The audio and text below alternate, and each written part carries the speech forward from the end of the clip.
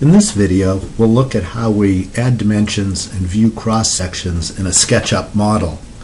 For our example, we'll use the design of a mouthpiece for a penny whistle, and in the process, we'll learn a little bit about how a whistle works. The first thing that we want to do is get our units and precision uh, correct. So we'll go uh, off the main menu to Window, and then select Model Info, this brings up a pop-up, and we want to set the format of our units to decimal and millimeters. And the precision we want to have at 0.0 millimeters, which means we'll be able to see precision to the tenth of a millimeter. Next thing that we're going to do is add a, another uh, toolbar. Uh, go to View Toolbars and we'll scroll down in the list and then select the Views toolbar, uh, which will make it easier to navigate around our object. So see that this pops up a toolbar that lets you see the uh, isometric view, top view, front view, right view, back, and left side uh, for some reason it doesn't have bottom, but you can get that by going to Camera, Standard Views, and then uh, select Bottom. And there's the, the bottom view of our whistle. Here's the front, and here's the isometric. Note that we have parallel projection selected, not perspective projection for this example. Now what we want to do is add dimensions by clicking on the uh, Dimensions tool and we'll click on one endpoint of a line and then click a second time on another endpoint of a line, drag and click a third time. So it takes three clicks to add dimensions. Let's try it again on another line. Click once on an endpoint, click on the other endpoint, drag, and then click a third time.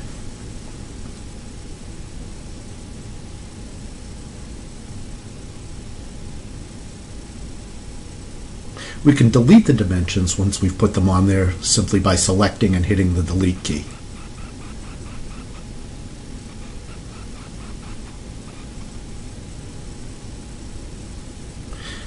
Now let's take a look at uh, our model from different views. We'll take a look at the side and then we'll rotate around and what we'd like to see is a little bit about the internal geometry. As we rotate, um, using the uh, that tool, we're dragging around, it's hard to see exactly what's going on with the uh, inner geometry. So what we can do uh, to, to better see that is to use a cross-section. The little crosshairs icon is the section plane tool. We can also find that under Tools Section Plane. So we'll select that and then if we uh, drag the plane over to a face of our object, we'll see that it creates a cross section there. If we then select the section plane and use the move tool uh, to drag that forward or backward, okay, so not the push-pull tool, but the move tool, we'll see that we can dig deeper or, or pull out from the model and get different cross sections. So we'll push in a little bit further, and here we can clearly see the airway and the blade of the whistle. Once we have a cross-section drawn, we can also continue to pan and zoom and so on.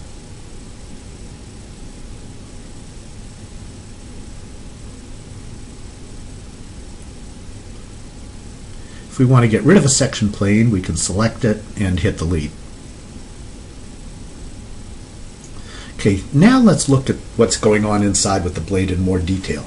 We'll select the side view and then section plane, and rather than placing it directly on a face, um, we'll look normal to the, uh, the plane that we're looking in, and here we can really see pretty well what's going on inside the whistle.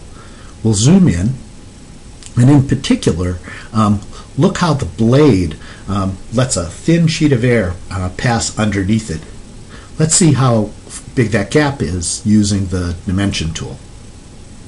So we'll click on the end of the blade, the line where the blade is, click on the uh, endpoint for the end of the airway, drag up, and we can barely see uh, because the arrow's there, but it's 0.2 millimeter gap.